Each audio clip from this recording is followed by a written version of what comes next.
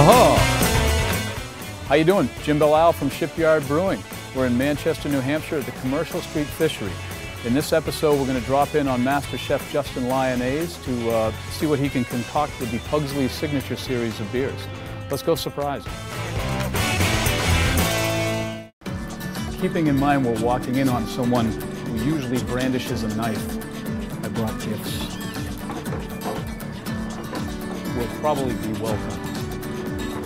Justin, Hey, Jim. what's going on? Oh, nice to see you. What's going on with you?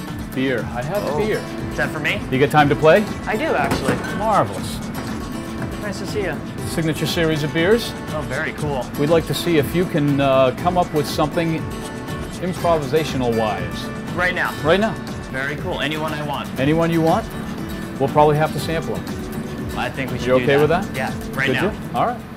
We're going to start with the Imperial Porter. The whole signature series are all big beers, a lot of flavor. There's a lot going on. 7.1%, very complex. Let's take it out for a spin. Nice.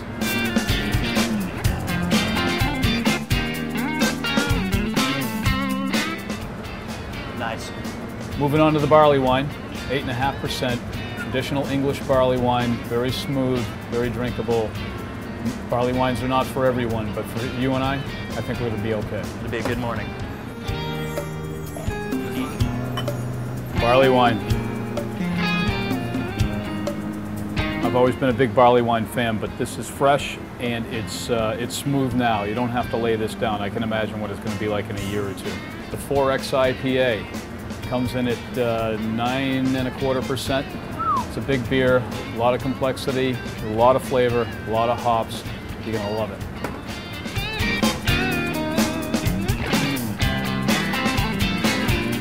Supposed to love all your children the same?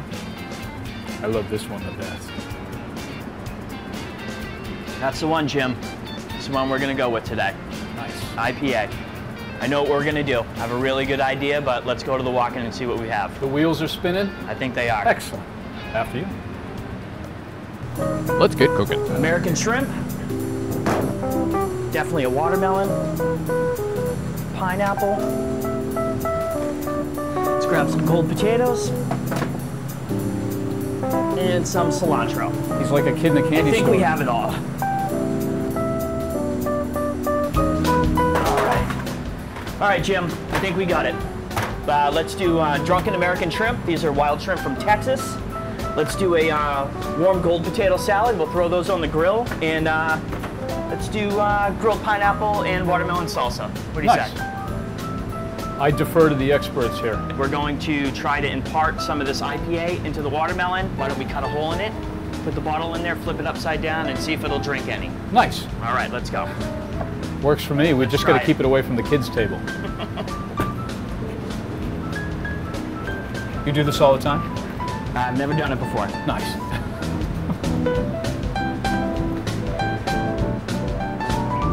Want to do this together? Can Yep. we do this?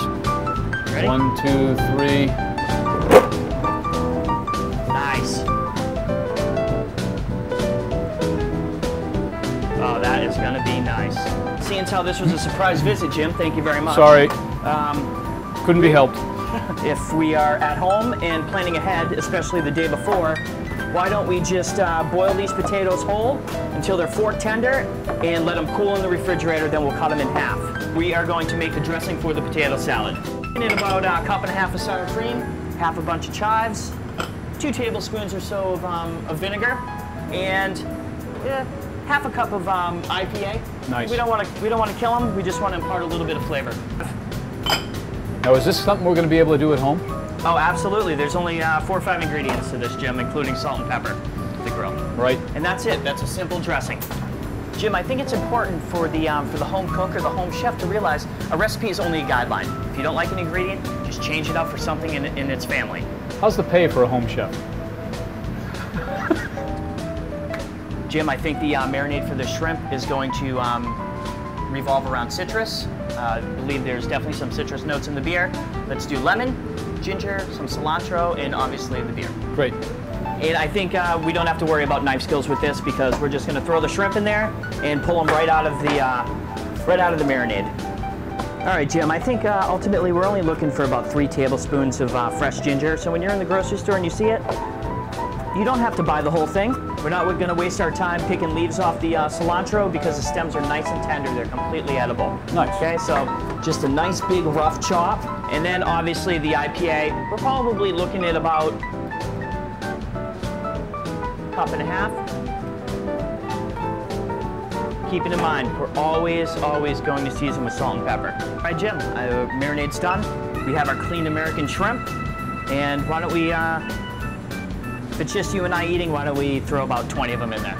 We are going to let this marinate for about 20 minutes. Like I said, they're, uh, the acid in the citrus and the alcohol in the beer are going to cook, cook, okay, the shrimp. We don't want to cook our shrimp before they get on the grill. We just, we just want to flavor them. While you do that, I'm going to start the prep for the pineapple salsa. Get the pineapple cleaned up and ready to grill. I never realized there was a trick to skewering. I think I've got a knack here.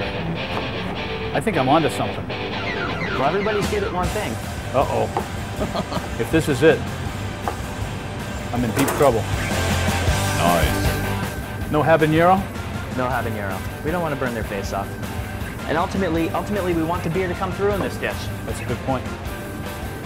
I wonder if Alan Pugsley had any idea when he was concocting the 4X IPA. By the way, do you know why they call it 4X? Oh, I, I don't.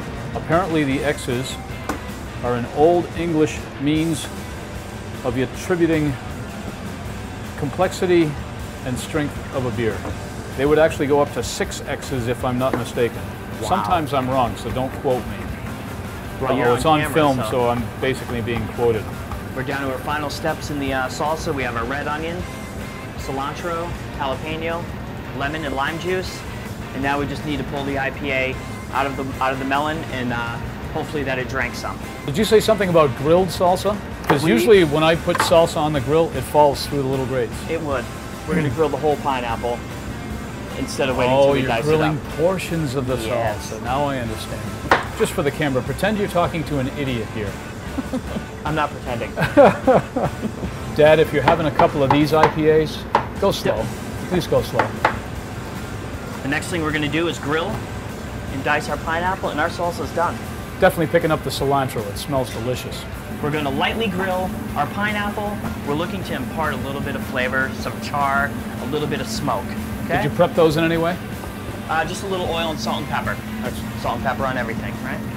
Just take some lemons, limes, find a home on the grill, and put them on there. It's going to make a great garnish. So there we go. After about three minutes, got a nice little grill mark on there, and the same thing's going to happen to the citrus.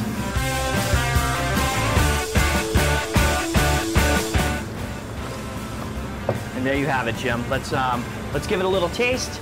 We may have to have to taste it several times. It's like the beer. You better be sure. All right, I'm getting a little cilantro, a little watermelon, a little pineapple. Calling in sick the rest of the day. I'm hanging here at the bowl. I think we're good. I'm What do you gonna think? double dip. Anybody mind? Dip away. Just you and I eat. And the potatoes? A little cayenne pepper, not too much to burn the mouth. Um, a little cumin and toasted coriander. So potatoes into the bowl. Quick season. A little bit of oil, not too much. We're going right onto the grill with these things, Jim. Our, assuming our potatoes are already cooked, all we're doing is warming them up and, and putting a little grill mark on there. Toasting the spice, all right, Jim, here we go. We got a little grill mark on there. It's warmed up a bit, and that's all we're looking for. All of the dressing that we made looks like it's going to be good for, um, this is about 10, 10 or 12 small gold potatoes. You can use uh, red bliss potatoes. Grilling time.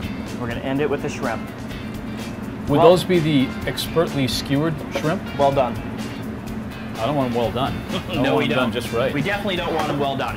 How long does a shrimp take? I would, we're talking about three minutes per side. Do you ever hear the shrimp scream when you put them? Hopefully the they grill? sizzle. They sizzle.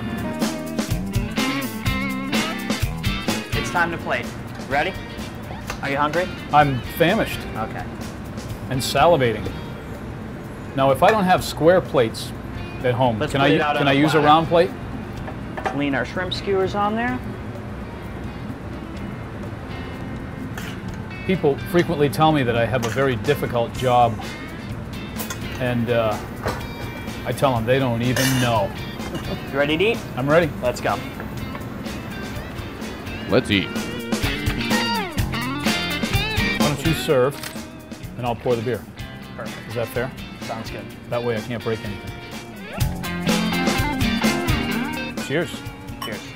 I think Justin hit the nail on the head as far as the uh, the citrusy aspect of an IPA, pairing up nicely with the uh, between the pineapple, the cilantro. It's a fantastic mix. So you're in downtown Manchester. Yep. 33 South Commercial. We've been doing this for about three years now. Still going strong, still seeing a lot of new people, and hopefully we continue to do so. Excellent. Drunken American shrimp, warm grilled potato salad, grilled pineapple, watermelon salsa. And you could see yourself utilizing this for an upcoming shipyard beer dinner at the fishery? Oh, absolutely. Let's get it in the book. Great. Sign me up. Let's finish this beer, and you can get the hell out of my way, and I can go back to work. When you said That was a potato salad, I was thinking my mom's potato salad. Yeah. It's really good. Mayonnaise is a little old, but it's still okay. When you're in Manchester, don't forget to visit Chef Justin Lyonnais in the Commercial Street Fishery.